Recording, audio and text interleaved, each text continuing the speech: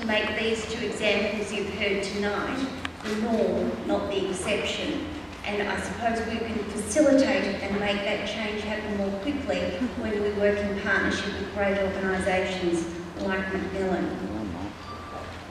So we've talked to you a little bit about our clinical strategy this evening. Uh, obviously there are a number of enabling strategies that will help us implement our clinical strategy. That includes our estates strategy, strategy, our engagement strategy, our ICT strategy, our transport strategy, all of which are critical to make sure that we can bring our clinical strategy to light.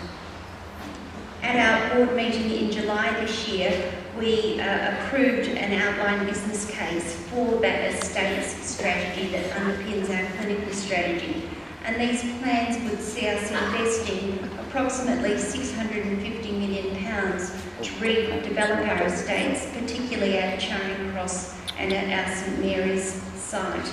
This is going to take some time and we've got a commitment to work with our staff, with our local communities, with our patients and with our other stakeholders to bring these critical plans to life in the future. Critical? This has been a very quick run through strategy and our plans for the future.